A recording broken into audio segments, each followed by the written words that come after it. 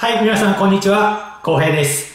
えー今日は、えー日本から、えー eBay で活躍されている元木さんに来ていただきました。えー今日はどうもありがとうございます。はい、こんにちは。よろしくお願いします。はい。はじめまして。はじめましてどうもまさかあの来てもらえるとは思ってなかったので、はいもうとっても光栄です。ああ、僕らもこちらこそ。はい。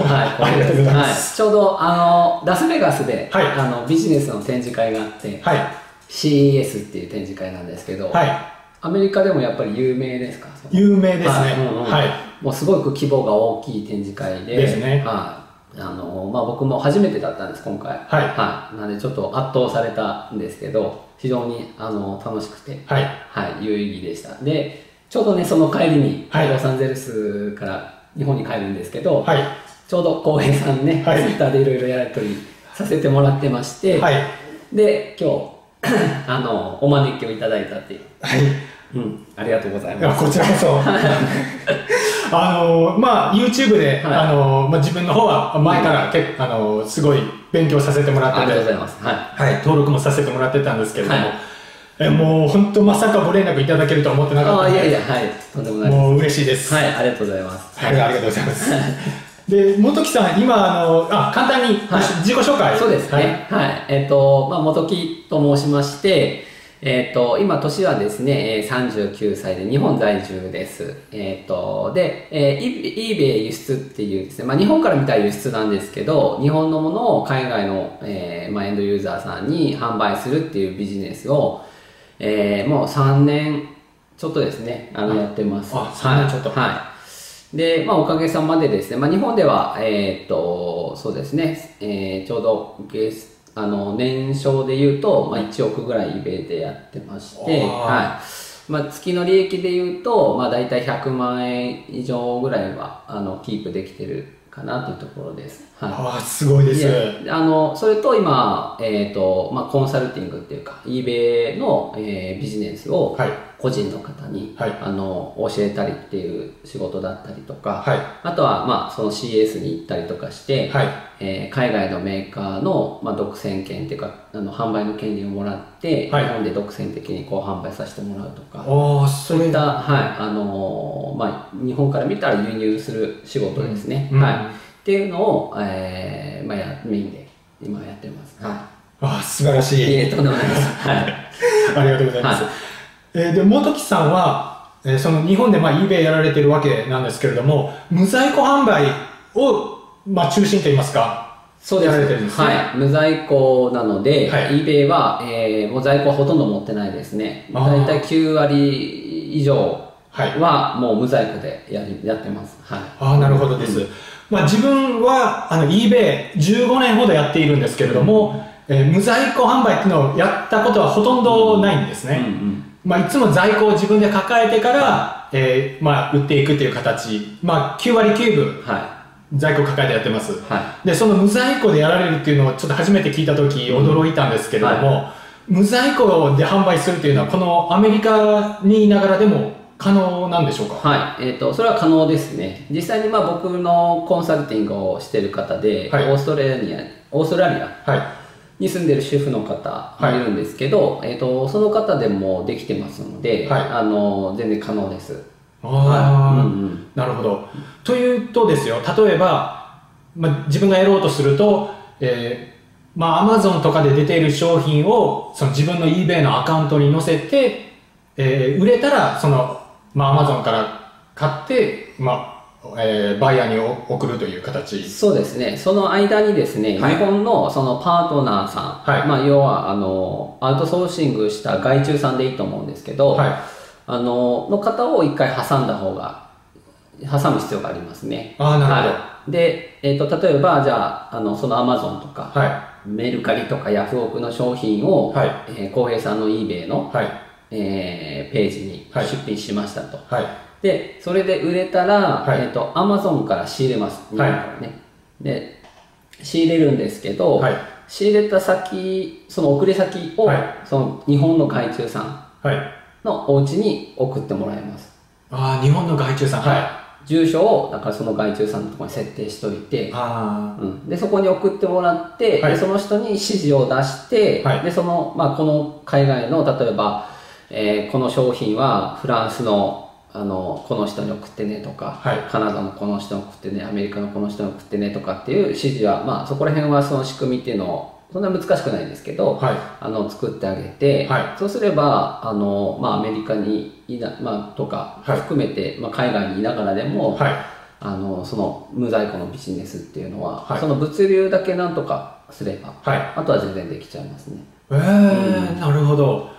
えー、あまあ実際オーストラリアに今、はい。こそうコンサル生というか、まあ、いらっしゃる形で、はい。じゃあ、まあ、アメリカ、まあ、今このアメリカ在住で、えー僕のチャンネルを見てくださってる、まあ、日本人の方も多いと思うんですけれども、はい。まあ、実際そのアメリカ在住の方 eBay そうそういうふうに無在庫でやってみたいという方いてでアメリカに住んでいながらでも、まあ、利益を出していくことは十分可能。そうですね、現実的には可能だと思いますね。で、一つその問題点があるとすればですね、そのはいメルカリっていう日本のサイトがあるんですけど、まあはい。アメリカでもあると思うんですけど、あの日本のメルカリは海外からでははい。基本的にはその買えないんですね。今、はい。BuyE っていう、はい。その仲介のサイトを通じてすすれば買えるんですけど、はい。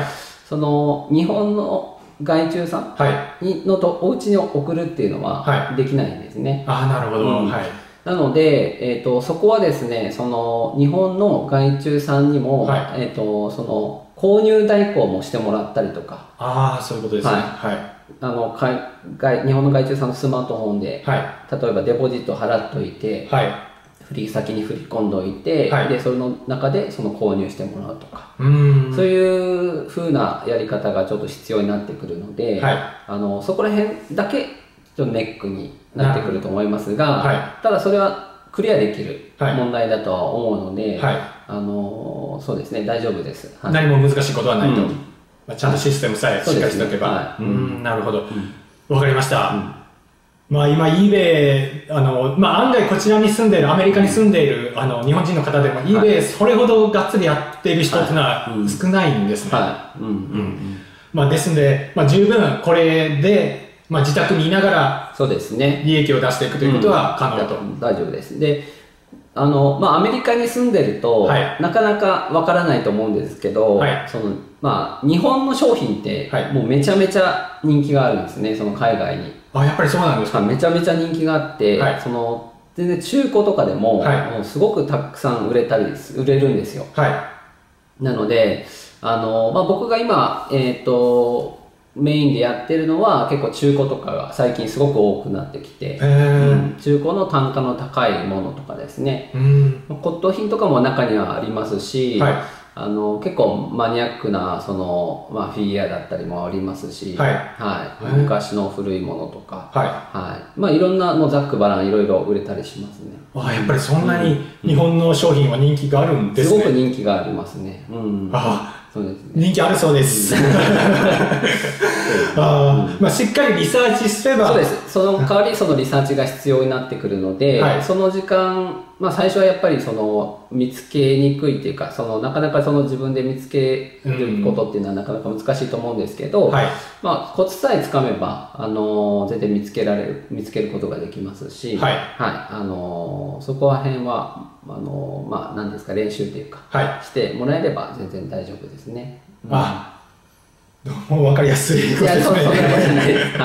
ありがとうございます。ちなみにですよ、え元木さん、あの、その、今、今、その、利益月100万円ですよね。はい。はい。うん一般的にですよ、100万円月稼ぐって、ちょっと僕の感覚からでは結構難しいと思うんですけれども、それを何年で、その、そうですね僕が、えー、と100万円稼げたのが1年ちょっとはかかってたはずですねあ、そうですか。はいそれでも、うんえーうん1年ちょっと、でも、1年ちょっとかければ月100万円稼げるっていう。そうですね。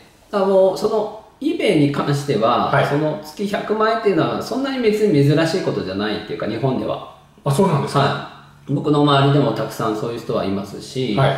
実際に僕がコンサルしたせいあのコンサルした人とかは、はい。あの半年で、はい。ねあのうん100万円稼げちゃったりとかはい。してますから、はい。そういう意味では僕はそんなに早い方ではないですし、はい。うーんそんな珍しいことではないです日本の中のその eBay で100万円本当ですか？っていう人は。はへえほんででも100万円その1年ちょっとかかるまでは、はやっぱ月10万円とか20万円とか。いそうです。10万円20万円で少しずつ増えてきましたね毎月少しずつ少しずつ。はい。商品やっぱり商品数を増やせばはそれに対してその売り上げが増える。いはい。ってことは利益が増える。はい。っていうまあ一般的にはそういう関係性なのではい。はい、なので商品数を増やす出品数を増やすというはい形ですね、はい。うん。へえちなみにですけどその出品数、まあ、1個、まあ、出すのあのそれなりに時間かかると思うんですけども、はい。うん1日で大体どれぐらい出品されるものなんでしょう、えー、と僕は今自分でやるのははい。本当にもう、うんそうですね。1週間で30ぐらいかなと思うんで、はい。1日5品出せばいい方かなというとこですね。5品だとうん。それほど、まあ、時間かかえっとですね、そのリサーチで時間最初はかかると思いますね。5すよね品とかでもはい。何時間もかかることもあると思います。はへえい。うん。うん5品、うん、なるほど、うんそしてもう今大体もう元木さんのアカウント一つ載せられてるのを、まあ、全部合わせると？そうですね。えっと、僕は、えっと、そのリサーチをしっかりする方のアカウント、高額のアカウントはい。の方と、はい。えっと、大量出品の方のアカウントとはい。2つ大きくあるんですけど、はい大量出品の方は、えっと、大体2万商品ぐらい、2万商品ぐらい、あの出してます。それをずっと昔から外注さんに出品してもらって積み重ねてもらってたはものになるんで、い。はえー、とそちらがそういうふうになってるものでもうもう一個の方は、はい。えー、とそうですね今500品ぐらいですかね。500商品ぐらい出てえますね、はい。そうですか、まあ、僕15年ほど eBay やってるんですけども、いまあ、いつも出品数大体50から100ぐらいなんです、うんうんうんそれでまあ2000ドルから3000ドルぐらい月に利益、うん20万円か30万円ぐらい、はい。うん。やっぱりその出品数上げないとダメですね僕の場合は。そうですね。でもその50品ぐらいで2000、3000ドルの売り上げって結構すごいと思います。コスパはいいと思う、かなりうん。いいと思うんですすごいと思いねます。うん。うん、まあ一つの商品をその何個も持ってるっていうのもあるんですけれども、うん。はうん。でも100品超えるってことはあんまりなかったんですよ、うん。うん。そうですね。まあ、数が多ければそれだけ販売のチャンスが増えるので、はい。えーまあ、売り上げが増えて利益が増えるっていう関係性はあると、うん、思いますね。うん。うんなるほど。出品数増やしたいと思います。はいそうですね。利益を上げるのであげるのであの、まあ、無在庫での話ですけどね。はい。うんうん。うん。それは出品数は増やした方がいいですね。うん。はい。まあ、自分はもう在庫ももう手元にないとちょっと心配というか、はなんかうあのどっか途中でうまいこといかなかったら心配だなとか思うことがあって、そうですね。いつも一回自分の手元に入れてからえ商品を売るっていう形だったんですけれども、うんちょっとその無在庫商品、まあね、在庫を持たなくていいわけですよそうですね。ね。確かにその在庫を持ってないと不安になられるっていう方の気持ち僕も最初そうだったんで、はい。あのすごくわかります。例えばあの買われた時にその在庫がなかったらどうどうするんだろうとか、はい。っていうこともあると思うんですけど、はい。まあそれはまあしっかりそのバイヤーさんに、はい。あのまあ、謝って、うん。あのキャンセルをすればいいだけですし、はいうん。あのまあ、別にそこで損をしてるわけじゃないんで、もともとなかったものですからね、はい。うん、だからそこら辺はまあ問題はないあのないです、でうん。日本人でそうやってねあの売ってるはい。えー人はっていうのはあの結構その日本の個人のそのヤフオクとかメルカリで出品してる人って日本で結構きっちりしてるじゃないいですしてますね。か、はい。だからきっちり送ってくれるんですよ。はいほとんどの場合。はだからそのものがその著しく違うとか、い。は全然送ってこないとか、はそういったことってもうめったにないんで、うん。だから日本で言いながら無在日本のものを無在庫するでしあのビジネスするっていうのは、うん。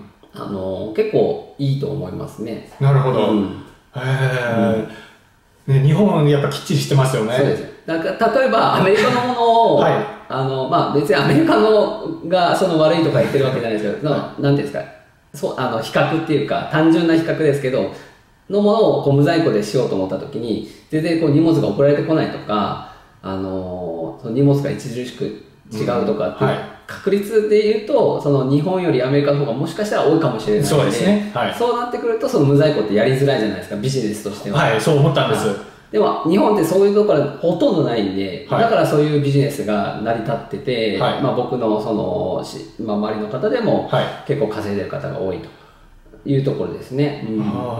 うん。結構稼いでるってもうその皆さんやっぱその数十万円そうですね。月稼ぐっていうのはもうざらにいらっしゃる。そうですね、それははい、あの多いです、全然、あのまあ、普通のことっていうか、そんなに驚くべきことではないですね。うんはいそうですか、まあ、もちろんその初心者、まあ、その始めたばっかりで個人でやってて全然売り上げが上がらないって方はまあもちろんいると思いますけど、はい。まあ、正しいこのやり方とかっていうのをはい。身につけてもらうとそういったそのなんていうんですかその比較的早くはい。利益を出すことは全然できますよね。ああなるほど、うん。いやーいいと思います。その、そうですね。うん。でまあそのね勤めに行くってなった場合でも、うんそのなかなか2000やっぱ2000ドル3000ドル、まあ、20万円か30万円で一月稼ぐのが一般的には僕は多いとああ、はい。う思うんです、でそんな中自分でそのリスク、まあ、ほとんどなしでその、まあ、無在庫であればですよ、まあ、やそうやって利益出せるんであれば、まあ、とっても、まあ、効率のいいねことだと思います、うんうん。うん。そうですね。それはいいと思いますね。あうん。はいそしたらあの下にあの本木さんの、ははい YouTube チャンネルと、うんあの Twitter の方はい。あの貼っておきますので、はいもしご興味ある方は、はいぜひご連絡していただければと思います。はい。ありがとうございます。はいじゃあ今日ははいこんな感じで、はいどうも本当にえもう来ていただいて光栄です。こちらこそありがとうございます。もう本当人徳者でいや、とんでもないです。もうは緊張してるんですい。いけどやいや、僕もです。はい。